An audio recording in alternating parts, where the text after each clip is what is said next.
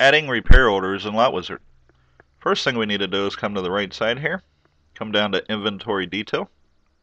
Then we need to load the vehicle in which we're going to add repair orders to. We can come down to the bottom here and click load. The inventory list will come up.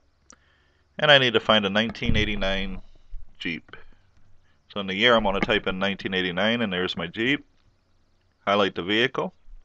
Click load vehicle and the vehicle's loaded. Now we need to come up to the pricing tab towards the top here. Over to the right, click on pricing. You'll notice in the middle column here, about halfway down is repair orders. We can go ahead and click on repair orders and the repair order window will open. We replaced the windshield and we also replaced tires and did alignment. So first one I'm going to enter is the windshield. So I'm going to click add and the RO number is ready. I can just start typing. I'm going to assign it a number of 01. I hit the tab key and goes over to RO date. Hit the tab key and I go over to vendor.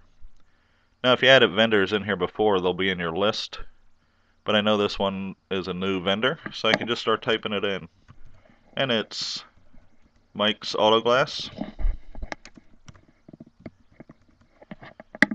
And then I hit the tab key, and it'll say, do you wish to add Mike's Auto Glass to the RO vendor list.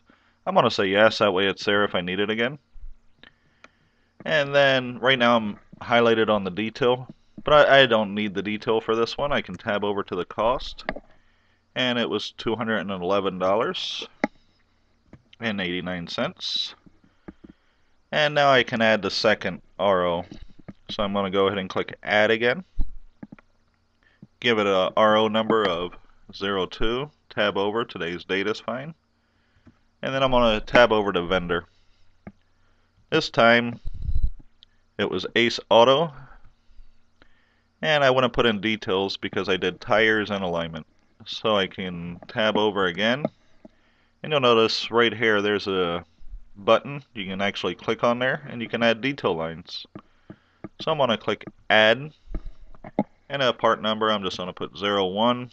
Description, tires, tab over to the price, $245, and then I'm going to click add again, give it a part number of 02, type in alignment,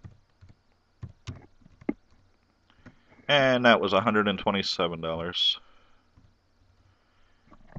And you'll notice it's totaling it up here down at the bottom right, and it also totals it up out on the main screen. So once I'm done adding in the details, I can click close and you'll notice it totals up the second line at Ace Auto for the tires and the alignment. And then it actually totals everything up down here at the bottom for the whole page. So that is how you add repair orders in Lot Wizard. So go ahead and click close. Now if you want to add vendors or delete vendors, you can go up to maintenance, come down to RO vendors, and your RO vendor maintenance window will open. And in here is all the vendors that you have. And you can simply maintain these. If you wish to delete one, you can highlight it, click delete at the bottom. And if you wish to add one, you just click add. And we can type in Joe's Garage. And then just once you're done with the maintenance, click save and exit. So that is how you keep track of repair orders and maintain the vendors list in LotWizard. Thank you for watching.